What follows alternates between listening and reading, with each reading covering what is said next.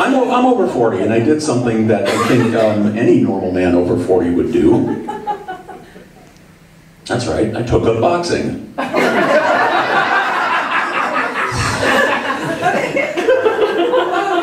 I took up boxing over 40 for one very simple reason.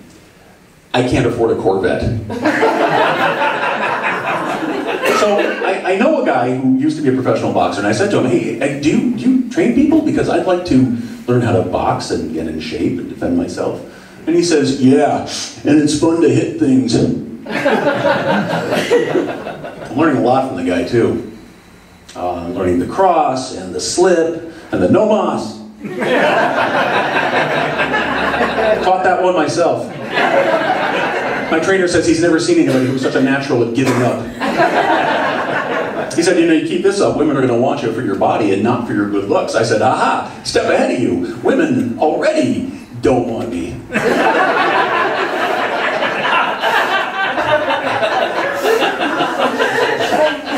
Here's, here's, this, is, this is a typical, typical day when I go boxing, okay? I belong to a, a gym in Hollywood, I, and we meet Saturday mornings at 10 o'clock and uh, for the warm-up. I get there about 9.40 because I'm in my 40s and uh, I, I, have to, I have to go into the, the parking lot and jog and stretch a little bit because when you're in your 40s, before you warm up, you have to warm up.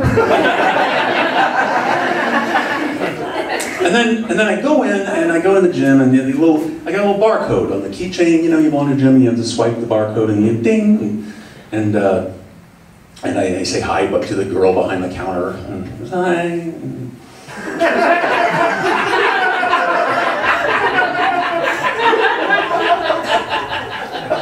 bet your mom is hot. And then I go, I go upstairs to the boxing gym and I put on my boxing shoes. I got these really cool looking boxing shoes. They lace halfway, halfway up the calf, and uh, I got them because they look cool on me, and because I'm over 40 and I need the ankle support. and then, and and because I can't afford a Corvette. And then, and then uh, uh, my, my trainer shows up, and we start working out. And the first day he said he comes he comes in, and there's a whole bunch of the, the heavy bags against the wall. You know those big heavy things hanging. And he says, uh, "Pick a bag. Which bag do you want to hit?" And instinctively, I said, "My dad's second wife."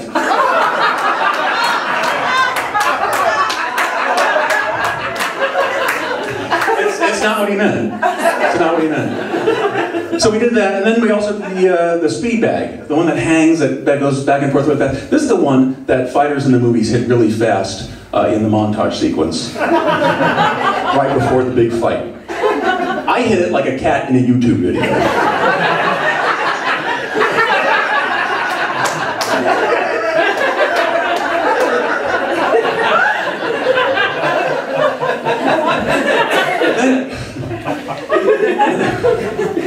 well, uh, uh, it was. I, I'm, I'm not. I'm not good. I I'm getting better. I'm getting better. I could totally beat up a small child, but I'm not. I'm not that good. Like he'll, he'll have me do things where I don't hurt myself, like uh, like like shadow boxing. Shadow boxing is where you punch the air. So just, uh, he's got a rationale for it. I don't question him. He's a fighter.